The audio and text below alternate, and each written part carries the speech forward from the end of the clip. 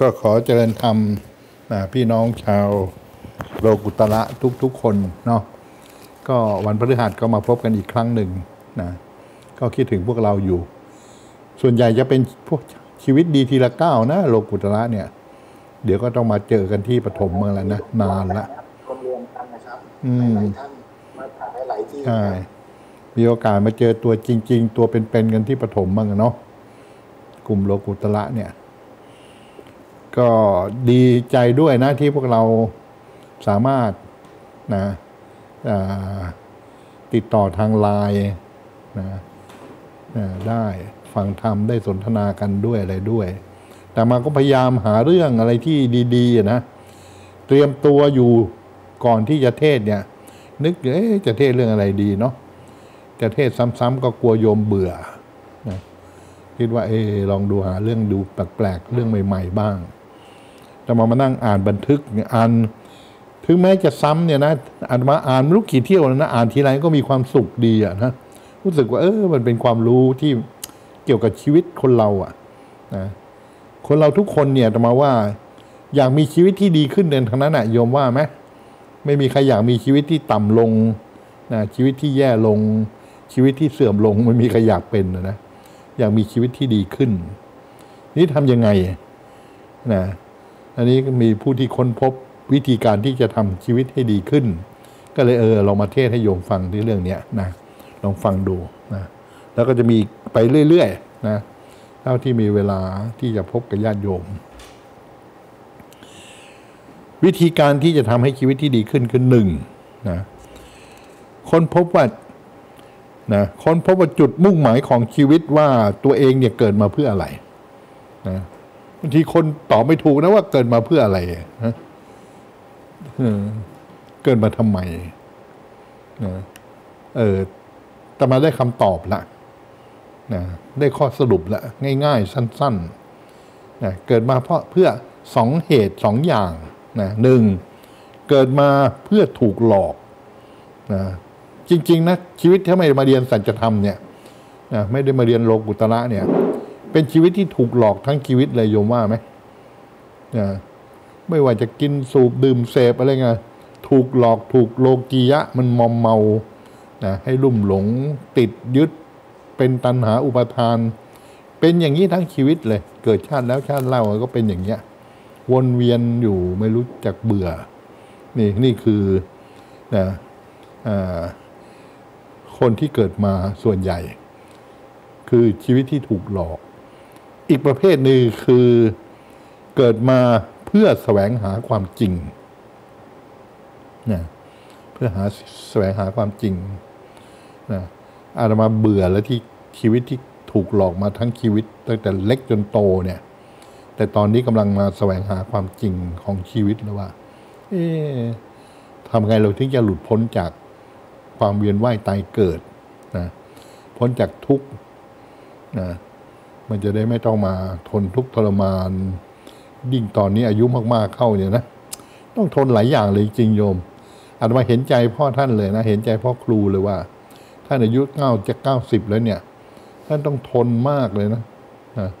สังขารย่อมเสื่อมไปอะนะเดี๋ยวก็เป็นอะไรต่ออะไรโอ้ทรมานท่านเป็นห่วงพวกเราอะนะท่านคิดคืออะไรอะ มีเมตตาต่อพวกเราพูดง่ายๆนะท่านก็เอออยากให้พวกเราเนี่ย ได้ถึงฝั่งกันทั้งนั้นนะอยากจะช่วยพวกเราช่วยลื้อหรือขนสัตว์นะให้ไปสู่มรรคได้สู่มรรคผลนิพพานอะไรกันไปให้มันได้สำเร็จทุกคนนะท่านก็พยายามสร้างหมู่สร้างกลุ่ม ซึ่งเป็นเรื่องที่ยากมากเลยนะอยากเป็นอยู่เป็นล่มโพล่มไทรนะ เป็นศูนย์รวมจิตใจของชาวโศกอยู่ ท่านก็พยายามทนนะและอย่างหนึ่งคือท่านพยายาม อยากจะพิสูจน์ธรรมะของพระพุทธเจ้าด้วยว่าการที่จะมีชีวิตอยู่ยืนยาวเนี่ย จะทำยังไง อะไรอย่างนี้เป็นต้นอาตมาก็พยายามเรียนรู้นะพยายามฝึกตัวเองเหมือนกันว่าเออทำไงถึงจะมีชีวิตนะเสียดายคือ คิดอยู่เสมอเลยว่า เออ ชีวิตเราเหลือน้อย และโอกาสที่จะเกิดมาพบพระโพธิสัตว์นะระดับอย่างพ่อท่านเนี่ยไม่ใช่โอกาสที่จะมีง่ายๆนะอันว่าจึงขอทุ่มเทชีวิตสุดท้ายเนี่ยทั้งชีวิตเลยนะทำให้เต็มที่อะไรอย่างนี้เป็นต้นเพราะจึงเนี่ยทุกวันเนี้ยพยายามอ่านคิดเขียนบันทึก จดคิดทบทวนอะไรต่ออะไร นอกจากมันจะเป็นประโยชน์ตัวเองแล้วเนี่ย ก็ยังมีผล นะในการที่จะมาเทศนะเอามาแนะนำพูดคุยกับญาติโยมบ้างปกติอาตมาไม่ใช่คน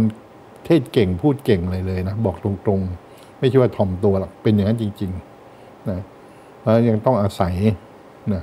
อาศัยเปิดตำราบ้างอะไรบ้างเทศไปคุยไปอะไรไปด้วย ไม่ต้องมีหลัก มันจะได้ครบ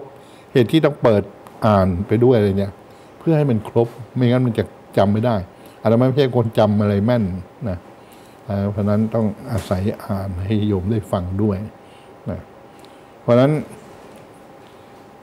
ได้ค้นพบวิธีที่ทำให้ชีวิตดีขึ้นคือ คุณต้องค้นพบก่อนว่านะจุดมุ่งหมายของชีวิตเราเนี่ย เราเกิดมาเพื่ออะไร มันต้องรู้จุดหมาย จุดมุ่งหมายของเรานะถ้ารู้ว่าเกิดมาเพื่อถูกหลอก คุณก็ต้องหาทางทำยังไงถึงจะไม่ให้ชีวิตได้ถูกโลกมันหลอกเอา นานนักมากนักนะรู้ไหมว่าถูกหลอกอะไรบ้าง ไอ้โดนก็สวยไอ้นี่ก็งามไอ้นั่นก็อร่อยนะไปเฮ้อหลอกทั้งทั้งนั่นเลยนะกับชีวิตที่เกิดมาเพื่อแสวงหาความจริงนะการที่จะมีชีวิตที่แสวงหาความจริงก็คือ เราไม่รู้ความจริงตามความเป็นจริงอะนะ ไปหลงเขาเรียกหลงออนุพยัญชนะ หลงไอ้รสอร่อยของมันที่จริงมันไม่ได้รสอร่อยอะไรเลยนะว่าจริงตามตามสัจธรรมเนี่ยนะไอ้เปรี้ยวหวานมันเค็ม มันก็เป็นของมันอย่างนั้นแหละแต่เราโอ้โหถ้ารสขนาดนี้นะเปรี้ยวพอดีหวานพอดีมันพอดีเค็มพอดีอะไรเงี้ย โอ้นี่อร่อยนะก็ติดหลงไปไอ้นั่นสวย สวยอะไรมันก็แค่สีอย่างจะมาเขียนรูปวาดรูปเนี่ยนะอันวันก็พิจารณาไปด้วยนะ เออจริง ๆ แล้วมันก็ไม่มีอะไรเอาสีป้ายกระดาษ ให้มันเป็นรูปเป็นร่างขึ้นมานะให้มันพอดีเหมาะสมแล้วมันดูดีแค่นั้นเอง เออก็ได้พิจารณาเป็นกรรมฐานอันหนึ่งของอาตมาเหมือนกันเพราะอาตมาถนัดเขียนรูปเหตุที่เขียนรูปก็เพราะว่า ก็ไม่ได้ไปหลงไหลอะไรกับฝีมืออะไรหรอกคือแก้ง่วงนะอันมาเสเจโตนี่ง่วงง่าย นะฟังพ่อครูก็ตามอ่านหนังสือหรือหลับละนะอาตมานี่เป็นคนที่หลับโชคดีที่หลับง่ายที่สุด โชคดีหรือโชคร้ายนะอันว่าโชคไม่ค่อยดีเท่าไหร่เพราะมันจะติดหลับติดทีนมิทะมาก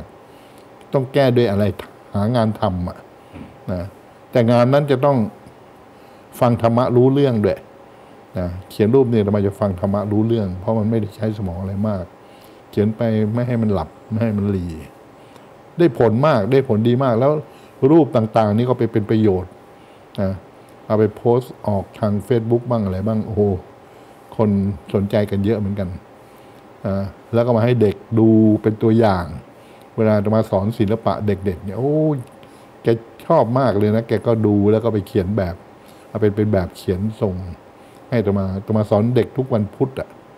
นะสนุกสนานกันเลยแหละอะไรอย่างนี้เป็นต้น แล้วมันก็ได้ประโยชน์ดีนะก็ทำไป อันนี้เป็นต้น เนี่ย มันต้องรู้ว่าเออ อย่าให้ชีวิตมันถูกหลอกมากเรารู้ความจริงของชีวิตที่พูดถึงเรื่องนี้ก็เพราะว่า เออหลาย ๆ อย่างเราไปหลงมันเนี่ย เพราะว่ามันเป็นอวิชชานะความหลง มันเป็นความหลงความโง่เองครับพูดง่ายๆหลงโง่อวิชชาเนี่ยมันตระกูลเดียวกันนะนะ เพราะฉะนั้นเรามาปฏิบัติธรรมเนี่ยเพื่อให้มันพ้นจากความหลง พ้นจากอวิชชา พ้นจากความโง่ เพราะบางทีเราไม่ไปพิจารณาความจริงตามความเป็นจริงของชีวิตอะไปติดไปหลงมันนะอะไรต่ออะไร มันถึงเวียนว่ายตายเกิดอยู่ทุกวันเนี้ยมันเกิดยังไง โยมลองไล่ดู วนเวียนอยู่กับกิเลสตัณหา อุปาทานสามตัวเนี่ย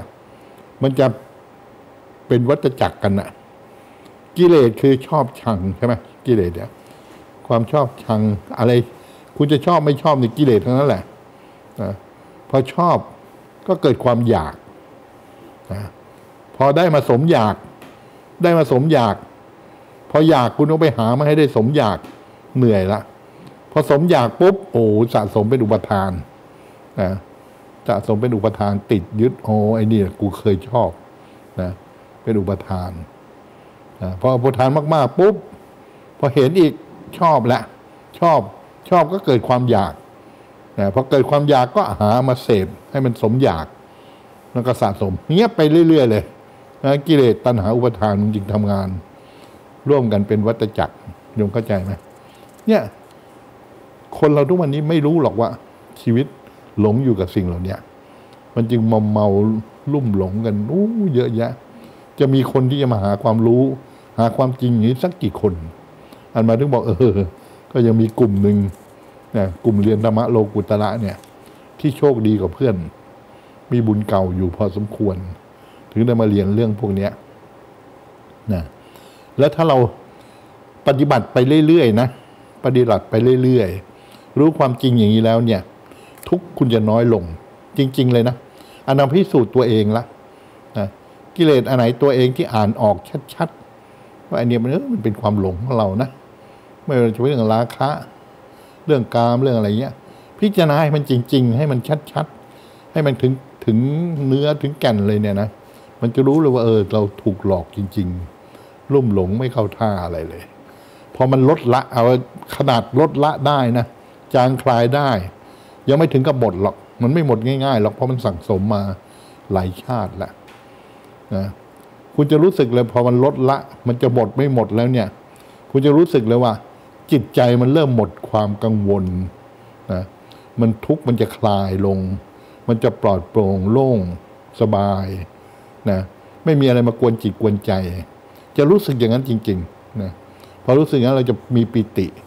ภูมิใจนี่แหละคือการพ้นทุกข์พ้นจากกิเลสนะลดละให้มันได้ จับกิเลสให้ได้นะ จับกิเลสให้เป็น รู้ให้ทันกิเลสพอรู้แล้วลดลดยังไงลดให้เป็น แล้วรู้ว่าลดลดได้น้อยลดได้มาก เนี่ยสามตัวเนี่ยสามขั้นตอนเนี่ย เอาเป็นหลักเลยนะมันไม่มีอื่นไปกว่านี้ประมาณที่ว่า ปฏิบัติธรรมเนี่ยจริงๆแล้วเนี่ยมันก็ไม่ได้อะไรมากมายนะหลักการใหญ่ ๆ ก็เอาเอาตัวสำคัญสำคัญเนี่ย แต่ทีนี้ที่คนไปไม่ไปสู่เป้าหมาย หรือไปไม่สำเร็จเนี่ย เพราะว่าพอเจอด่านแรก นะมันเบื่อซะก่อนนะพอมาเจอกิเลสยากๆ ชักไม่เอาละว่าเอ๊ะอย่างนี้ถูกทางหรือเนี่ย เหมือนลิงกินมังคุดอะโยมเคยได้ยินไหมที่เขาเล่ากัน ลิงกินมังคุด พอคว้ามังคุดได้ปุ๊บก็กัดเลยอุ้ยมังคุดนี่ฝาดคว้างทิ้งทั้งลูกเลยนะไอ้ลิงอีกตัวหนึ่งกินมังคุดพอกัดเสร็จปุ๊บอ๋อรู้อันนี้เป็นเปลือกเอาเปลือกออก ก็ได้กินเนื้อข้างในไม่ทิ้งทั้งลูกใช่ไหมอดทนหน่อยก็ไปกินทำไมเราเปลือก ไอ้ตัวแรกมันไม่รู้ว่าไอ้นี่เปลือกมังคุด เหมือนไปแบบปฏิบัติธรรมเนี่ยใหม่ๆมันก็ดูแล้วมันก็ยากบางอย่างมันก็ยากนะพอผ่านในความยากขั้นตอนของความยาก ความขมความฝาด คุณจะลดได้ริมรสความหอมหวานของเนื้อมังคุดนะแล้วคุณจะรู้สึกเลยว่า โอ้ น่ากิน นี่คือผลไม้ทิพย์อันนี้เป็นต้นยกตัวอย่างให้ฟังนะเพราะฉะนั้นเนี่ยชีวิตเราจะดีขึ้นเนี่ยก็คือต้องอรู้จุดมุ่งหมายของชีวิตว่าเกิดมาเพื่ออะไรนะจะเกิดมาเพื่อถูกหลอกต่อไปหรือ หรือจะมาแสวงหาสัจจะ ให้พ้นจากชีวิตที่ถูกหลอกนะเนี่ยจะมาประมวลมาได้อย่างเงี้ยนะลองฟังดูสงสัยอะไรเดี๋ยวถามคุยกันได้นะมีไหมอะ เว้นวรรคให้นิดหนึ่งใครอยากจะซักถามอะไรเพิ่มเติม ผมฟังท่านตลอดตั้งแต่แรกเนี่ยคือที่ท่านบอกว่าชีวิตเกิดมาเนี่ยโดนหลอกมีสองทาง ชีวิตอันแรกคือชีวิตที่โดนหลอกอืมอ่าทางเอ่อโลกียธรรมทางอืมโลกีนะครับ อันที่สองชีวิตที่อ่าเกิดมาค้นหาความจริงทีนี้ผมก็มาดูตัวเองว่าผมเกิดมาอันเนี้ยผมไม่ไม่ได้ค้นหาความจ ริงเลยอืมคือชีวิตมันโดนหลอกมามาตลอดสมัยตอนหนุ่ม เดี๋ยวนี้ก็ยังโดนหลอกอยู่ใช่ไหมลูกต้องอยู่ไปทำธุรธุรกิจอืมเสียงเสียงการเงินค่อนข้างดีอะเขาก็เรียกเสียเลยอืมสมัยนั้นนะตอนนี้ชีวิตผมเนี่ย มันกินสูบดื่มเสพนะครับเอ่อ โดนหลอกกินนั่งกินเบียร์กับเพื่อนเนี่ยเป็นหลงอืมอะผมก็ไม่รู้ ต้องกินทำไมผมก็ทราบแต่มันต้องกินครับอืมคือคือต้องกินอืมไม่รู้ว่ากินทำไม แต่กิน แล้วก็หาเงินหาตายเลย เอาเป็นบ้าเป็นหลังเลยทีนี้ผมจะถามท่านว่า เมื่อเรารู้ว่าเกิดมาชีวิตโดนหลอกเนี่ย แล้วชาติ ตายไปมันเป็นอจินไตยหน่อยครับ ถ้าตายไปเนี่ย ผมไม่อยากไปมีแบบโดนหลอกแบบนั้นอีกแล้ว สังคมโลกีที่มันหลอกเราเนี่ยไงที่ว่าเกิดใหม่ในชาติหน้าถ้าเกิดใหม่นะครับจะไม่หลงโลกแบบนั้นอีก เราจะทำในชาตินี้อย่างไรที่ว่าเราต้องไม่เจออย่างนั้นนะครับอืมก็ทำสิ่งที่หาความจริงของชีวิตเลย ไม่ใช่ไปโดนหลอกอย่างเกิดทั้งร่างกายนะครับ ประมาณเนี้ยครับอ่าอ่าตอบนะสินพุทธ มันไปอยากไม่ได้หรอก ได้ยินชัดไหมครับท่านได้ยินได้ยิน ครับ มันอยากไม่ได้หรอกต้องทำเอานะอยากไม่สำเร็จหรอกเกิดชาติหน้ากูก็โดนหลอกอีก มันต้องลดลดความถูกหลอกตั้งแต่ชาตินี้แหละ ลดให้ถึงจิตเลยเข้าใจไหมเนี่ยการสืบต่อเนื่องสันสติหรือไปสู่ภพอื่นชาติอื่นเนี่ยนะมันต้องเปลี่ยนจิต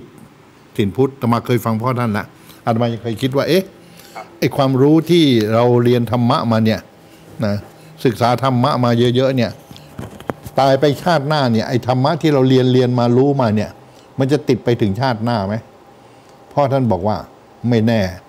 ถ้าจิตยังไม่เปลี่ยนนะมันก็จะเหมือนกับอะไรโคลนนะหรืออะไรที่มันเปื้อนเปื้อนเนี่ยโดนน้ำสาดมันก็หลุดไปหมด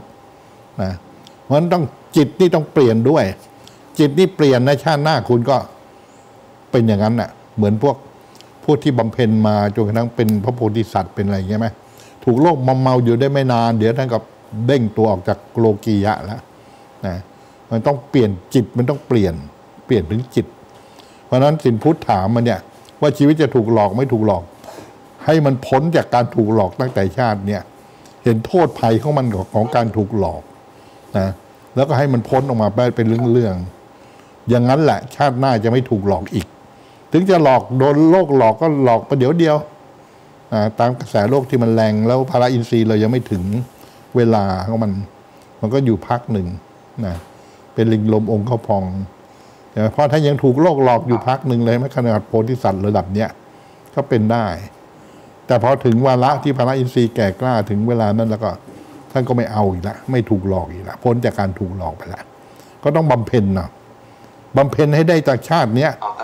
เอาตั้งแต่เออบำเพ็ญให้ได้ในชาติเนี้ยก่อน ชาตินี้เลย เออ ถ้าชาตินี้ยังทำไม่ได้นะชาติหน้าก็ต้องเอาอีกอะโดนหลอกอีกพักหนึ่งอะแต่ที่ชาติหน้านะสินพูดฟังให้ดีนะ ถ้าชาติหน้านะ คุณไม่ได้เจอผู้นำที่ดี ไม่เจอครูที่ดีนะ คุณก็ยังโดนถูกหลอกไปทั้งชีวิตอะแล้วก็ต่อหลอกไปเรื่อยๆอีกยาวนานเลยครับยาวนานนะครับผมไม่หมดง่ายครับๆ ถึงแม้ว่าจะรู้ชาตินี้ก็ตาม แต่มันยังเอาไม่ออก มันก็ติดชะนักไปอีกหลายชาติอะนะยากครับครับนะต้องพยายามจะพยายามอยู่ครับท่านเออ เอาให้มันได้ให้ได้ชาติเนี้ยให้ให้ มันต้องให้จิตเปลี่ยน มันถึงจะไปถึงชาติหน้าต่อภพต่อชาติ แต่ถ้าจิตยังไม่เปลี่ยนนะครับผมมันก็ลืมหมดยากอืมยาก เอาอย่างนั้นนะมันลึกซึ้งเรื่องนี้แต่มาโอ้โห ลึกซึ้งมาก นะ เพราะฉะนั้นทำให้ดีให้มากให้ให้มันเต็มที่ เอออ้าวสาธุระยะครับนะมีอีกไหมไม่มีแต่มันจะไปต่อนะกับกับขออนุญาตครับเชิญคือเชิญผมสงสัยอยู่ครับอ่าคือมันมีคำว่าจิตสุดท้ายครับท่านอืมจิตสุดท้ายจะนำพาไปเกิด อันนี้ความคิดสุดท้ายเขาบอกให้คิด บวกคิดอะไรแบบเนี้ยครับคือจะไปสร้างภพชาติใหม่นะครับอืมแต่ผมมีความรู้สึกว่าจิตสุดท้ายบางทีมันจะลึกอะครับ ท่านใช่นึกถึงคำว่าอัตวะกับอนุสัยครับท่านอืมมันจะอยู่ลึกมันจะซ้อนกันขึ้นมาอืมสำหรับคำทำนี้ครับอืมมันจะซ้อนกันขึ้นมา มันจะเป็นจิตสุดท้าย คือบางคนเนี่ยคิดนึก แต่ผมว่ามันยังมีอาชวะอนุสัยตัวนี้ที่มันลึกขึ้นมานะครับ ตัวเนี้ยที่มันลึกๆเนี่ย เราจะมีวิธีแก้ไขไหมครับท่าน แก้ไขว่า แก้ไขว่า เออในสิ่งที่เราคิด เช่นเราเคยคิด คิดว่าเราเคยโกรธคนเนี้ยเราคิดว่าเราโกรธเราหายโกรธได้แล้ว แต่จริง ๆ ลึกๆบางทีมันยังมีอยู่อย่างเนี้ยครับ เช่นอืมแบบเนี้ยครับอืมมันแล้วแต่ว่ามันกำลังหรือแรงมันน้อยมาก ถ้าโกรธเหลือน้อยนะแสดงว่าเราก็บำเพ็ญทางจิตแล้วจิตมันก็เหลือน้อย เกิดไปชาติหน้าก็ไม่ค่อยมีผลเลยเท่าไหร่ ก็มีผลได้อืมแต่ที่สินพูดว่าทำจิต สุดท้ายก่อนตายเนี่ยนะอันนี้แต่มาไม่เชื่อว่าจะแน่นอน มันทำได้แต่ว่าคุณไม่ได้บำเพ็ญอะไรมา เอาแต่ทำจิต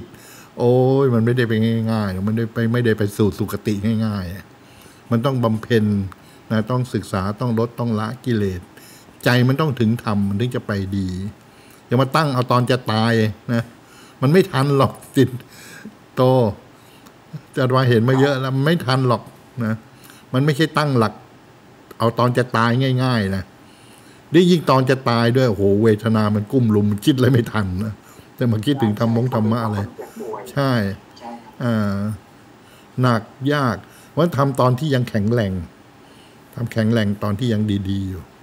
นะครับจะไปรอตอนจะตายได้จากการปฏิบัติเท่านั้นหรือเปล่าครับท่านอะไรนะได้จากการปฏิบัติเท่านั้นใช่ต้องได้จากการปฏิบัติเท่านั้น เท่านั้นเลยไม่ใช่จากการอ่านหรือไม่ใช่เลยต้องปฏิบัติจริง ๆ ต้องลดละ ต้องให้ถึงจิตเลย จิตต้องเปลี่ยนนะต้องให้ถึงจิต ถึงบอกโอ้เรียนธรรมะนี่ไม่ใช่เรียนแค่ผิวเผินนะคุณจะต้องรู้อาการของจิตเลยรู้อาการลิงคะนิมิตอุเทศนะอ่าเป็นขั้นตอน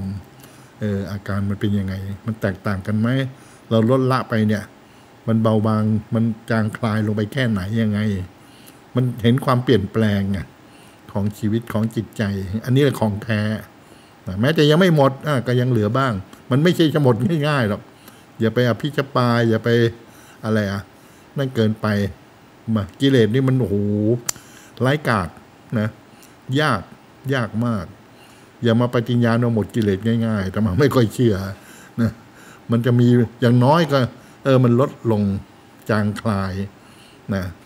บางอย่างก็หมดไปเหมือนกัน แต่บางทีว่าหมดไปแล้วนะ อยู่ๆก็โผล่ขึ้นมาอีกก็ได้นะกำเริบขึ้นมาอีกก็มี มันยังไม่เสด็จน้ำยังไม่ใช่คลายง่าย ๆ จะรู้เลยโอ้เล่นกับจิตนี่สนุกนะอ่านจิตอ่านใจให้ดี ปฏิบัติธรรมะเนี่ยขั้นแรกอ่านจิตอ่านใจให้เป็นอ่าอ่านจิตอ่านใจดูจิตดูใจอ่านแล้วดูมัน มันจะยังไง พอดูมันรู้มันแล้วนะ แล้วหัดทำจิตทำใจ อ่านจิตอ่านใจดูจิตดูใจทำจิตทำใจแล้วหัดปล่อยวางนะหลักๆนะเนี่ยอาตมาใช้วิธีเนี่ยรู้สึกเออ จิตไม่ใช่เรื่องง่าย ๆ เลยนะได้รู้ได้อะไรอาตมารู้สึกว่าเอออันมาโชคดีนะเจอพ่อครูเนี่ย มันก็เลยไม่ไม่หลงทิศหลงทางอาตมามาสงสารคนชาวพุทธทุกวันเนี้ยนะไปคนละทิศคนละทางหลงทิศหลงทางเยอะแยะ โดยที่เขาเข้าใจว่าเขามาถูกทางนะนะเชื่อไหมโยมว่าไหมไปถามสำนักไหนเขาว่าเขาดีที่สุดละเขาถูกที่สุดละสำนักอานาปานสติบ้างสำนักหลับหูหลับตาอะไรอย่างที่พ่อท่านเคยเทศๆแล้วนะนั่นเขาก็ว่าเขาดีที่สุดละจริง ๆ แล้วมันไม่ใช่ ถ้าไม่มาเจอพ่อท่านเนี่ยอาตมาไม่คงหลงไปเยอะเหมือนกันนะพ่อสายเดิมมันมาทางนั้นนะชอบนั่งหลับตา มันถึงติดสงบอยู่นานมากจนป่านนี้แล้วยังล้างไม่ค่อยจะออกเลยนะมันยางเหนียวมากนะเผลอไม่ได้อย่าว่าแต่นอนเลยนั่งกันจะหลับอะไรอย่างเงี้ยต้องหาอิริบทที่มันเคลื่อนไหวนะต้องพัฒนามันต้องพัฒนาตัวเองนะเพราะฉะนั้นอย่าประมาทล้อเล่นกับกิเลสมันยากนะ